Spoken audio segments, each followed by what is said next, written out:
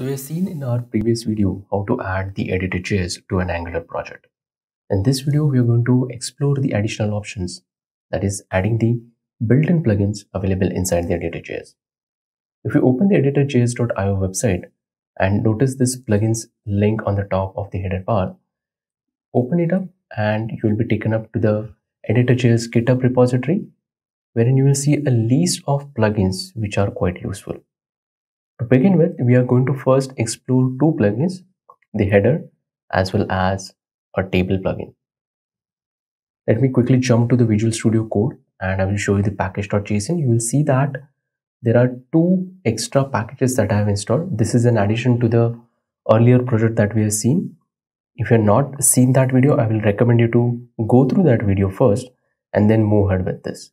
So we have this header and the table plugin added to our project. Let me just go back to the uh, the basic component file that we have. This is the existing code that we have seen earlier. I'll again switch back to the Chrome and let's open up a sample page from the header repository. So this is the welcome page for the header plugin that we have inside the editor.js and it comes with a default set of instructions. The very first step I have already executed. Uh, it is talking about installing the dependency. The second thing that we require is to actually configure this plugin inside the editor.js. So what it says is that we need to add an additional attribute called as tools. And inside that, we need to provide a key along with a reference of the class. So this header class is nothing but the one which we imported earlier. I'll go back to the Visual Studio Code and start making changes to the code.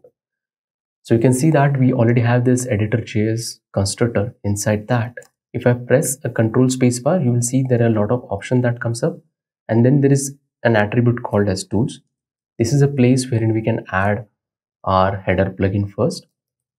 So I'll give a key as header and then I will add the additional options. Now there is also a shortcut wherein you can completely ignore these curly brackets and just simply specify the header class. Let's see whether we have it. We haven't imported that. It is imported.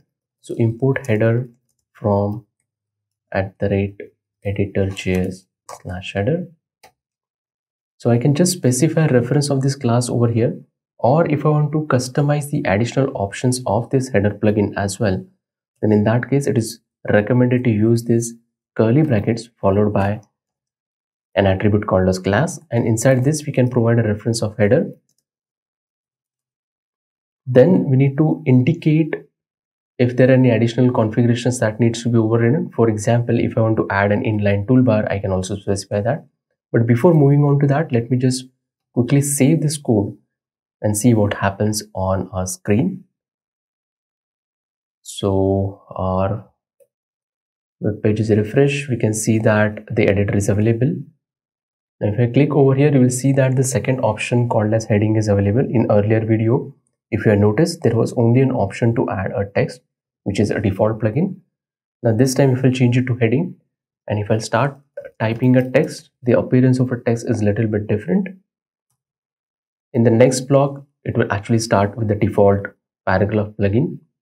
So I will say this plugin base interface is nice let me select the heading block and you'll see there are no options that are getting displayed. If I go to the normal text based uh, block that we have and if I start selecting a text, you will see this inline toolbar is coming up.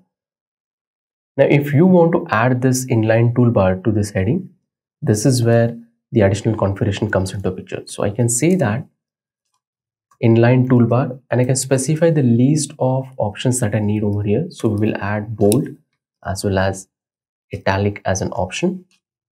Let me just save that. And this time if I'll just go over here, first I will add the heading block. Let me type some text over here. Some dummy text. Let's quickly test the change. If I'll select this introduction, you can see that there are two options available, bold and italic. Now I can change the appearance of the text that we have.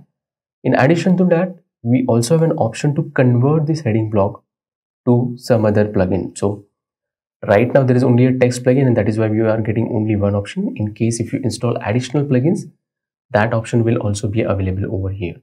So you can quickly change the heading option to text or text option to heading let me just show you that. So now if i select the text you can see that all the formattings are getting removed. If i select this introduction text again and change it to heading we are seeing that the heading comes back now let's go ahead and also add the second plugin that we have. Let me just quickly locate that. The second plugin is table. I will open it in a new tab. Again, it has some basic set of instructions. We have already done this. Now we want to use this particular table plugin. So the default syntax is to just add a key followed by the name of the class. Now this table need to be imported. Note that this is a default import. So I'm not putting it into a curly brackets and then I need to specify the model from which the import has to happen. Let me quickly save that. And this time if we go to our example, you can see that the very first block is available. Let me type some text. I will convert it to heading. And the second block that I'm going to add is nothing but a table. So you'll see that the third option is now, now available. I'll click that. And then there's a default table that gets added. I can see uh, title and description. These are two different columns. Dummy here goes my text. There are also additional options available. I can indicate whether my table has heading or not. So if i select the first option you will see the appearance of the headings are getting changed if i turn it off again it is getting reverted back to the original styles. You also have an option above each column so you can indicate whether you want to add a new column to the left or the to the right or you can you want to delete an existing column. You can also add a new column third column. Let me quickly check whether the delete operation is working fine. I will select this delete column option. It is asking me for a confirmation and the moment I click that, it is actually removing the column. So congratulations, you just learned how to add the plugins and customize few basic settings of those plugins inside Editor.js. In the next video, we will explore how to create your own plugin and add it to this editor. Till then, take care and build something.